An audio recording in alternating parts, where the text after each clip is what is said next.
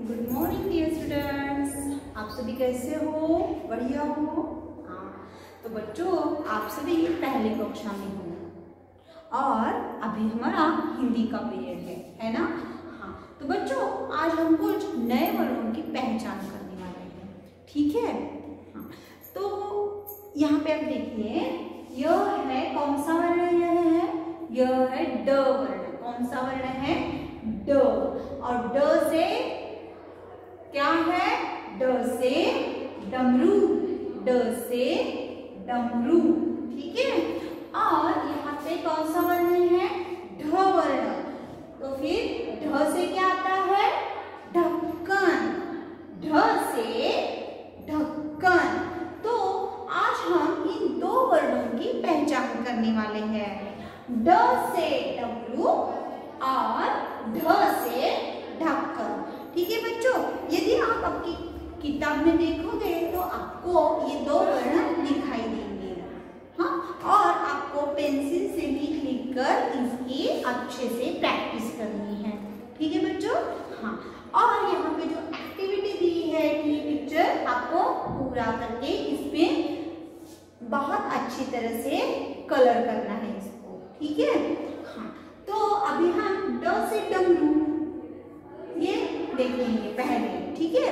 तो फिर देखो यहाँ पे। ड से डमरू बाजे डम डम, नाचे बंदरिया छम से बाजे डम डम, नाचे बंदरिया छम छम। तो इस प्रकार यहाँ पे एक छोटा सा क्या है? गाना दिया हुआ है। ठीक है? तो ये जो ड है तो ये ड से डमरू यह शब्द तैयार होता है। और यदि आप हमारी वर्कशीट देखोगे तो यहाँ पे आपको कई सारे शब्द दिखाई देंगे, कई सारे चित्र भी दिखाई देंगे। ठीक है? तो ये देखो, यह है डलिया। ड ड से क्या आता है? डलिया। ड से डबल रोटी। ड से डमरू हाँ ड से डमरू तो हमें हमें मालूम है, ठीक है? इसके बाद यदि आप पेज करोगे तो यहाँ पे देखो, ड से दिव्या ड से डंडा। हाँ तो इस प्रकार ड, इस वर्ण से शब्द तैयार होते हैं। ठीक है बच्चों, अभी हम देखेंगे, ढ से क्या आता है? ढ से ढक्कन, यानी कि इस प्रकार ढक्कन रहता है। आपको मालूम है ढक्कन? हाँ जिसको अंग्रेज़ी में लीड कहते हैं। क्या कहते हैं? लीड। हाँ और उसको मराठी में झाकण, असं बोलता। ठीक है? हाँ तो बच्चों देखो, ढ से ढक्कन। तो ढ से ढक्कन, ढ से ढक्कन, ढ से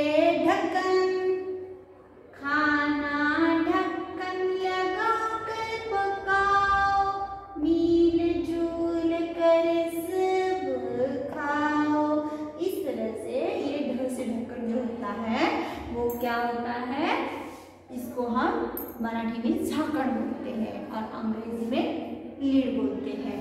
ठीक है बच्चों? तो आपने ये ढक्कन देखा होगा, है ना? हाँ तो यहाँ पे आपको पेंसिल से अच्छे से पेंसिल से लिखना है और ढ इस वर्ण की क्या करनी है? प्रैक्टिस करनी। क्या है? ये डस्टबिन है। हाँ और इसमें हम कूड़ा, कचरा डालते हैं। ठीक है? हाँ तो ये डस्टबिन है। जो है, इसमें यहाँ पे आपको ढ लिखना है। ये डस्टबिन दिए हुए हैं और इसके ऊपर क्या है, ये ढक्कन है। तो ये ढक्कन से ढ आपको ढ लिखना है। कौन सा वर्ड लिखना है? ढ। और यह इसको आपको अच्छे से कलर भी करना है। हाँ तो मेरे प्यारे बच्चों, इस प्रकार आपको ये ड वर्ण और ढ वर्ण अच्छे तरीके से छुड़ाना ठीक है? बीच में एक जो पेज है वो भी आपको छुड़ाना है। यहाँ पे देखो। हाँ ये क्या है ये सब? ये सब क्या है? हाँ ये तरह तरह के चित्र है। जो वर्ण हमने देखे हैं हाँ ये वही इसकी रिवीजन है। तो पहला चित्र दूसरा चित्र यहाँ पे ये सारे चित्र है, है ना? हाँ तो ये चित्र का जो पहला अक्षर है, वो आपको लेकर अच्छे से रिवीजन करनी है। ठीक है? हाँ और वो जो वर्ण है, वो इस बॉक्स में आपको लिखना है।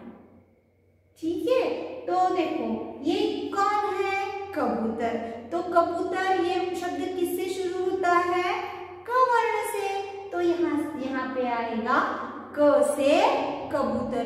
तो सिर्फ़ आपको क वर्ण लिखना है ठीक है उसके बाद है खरगोश तो आपको ख लिखना है ठीक है इसके बाद है ये क्या गमला तो यहाँ पे आएगा ग वर्ण ठीक है बच्चों?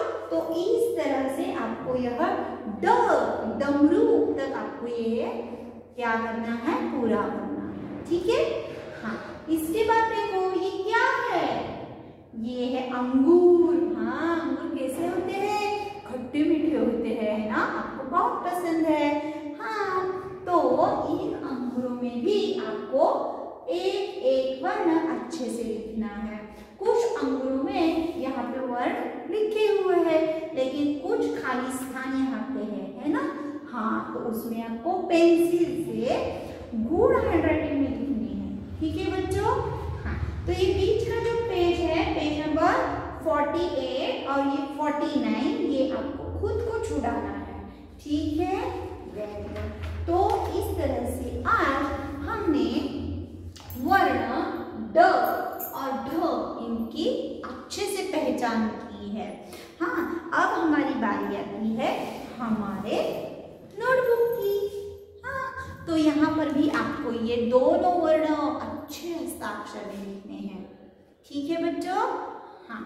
इसके बाद हम देखेंगे हमारी वर्कशीट। हाँ तो बच्चों, आपको मालूम है हमारे स्कूल का नाम क्या है हाँ सभी को आता है अभी है ना हाँ तो अभी आपको ये ड ड से डब्लू ड से डबल रोटी ड से डलिया इस तरह से बोल बोल कर ये आपको वर्कशीट छुड़ानी है।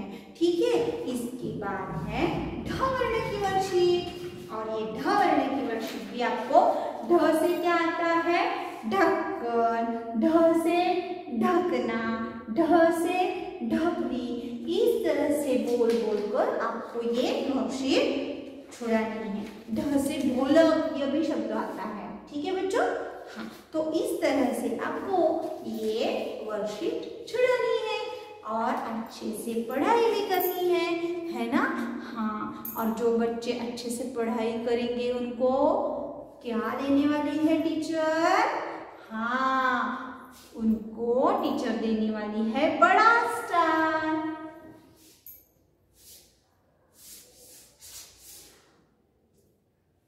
तो अच्छे से आप पढ़ाई करो, ठीक है बच्चों?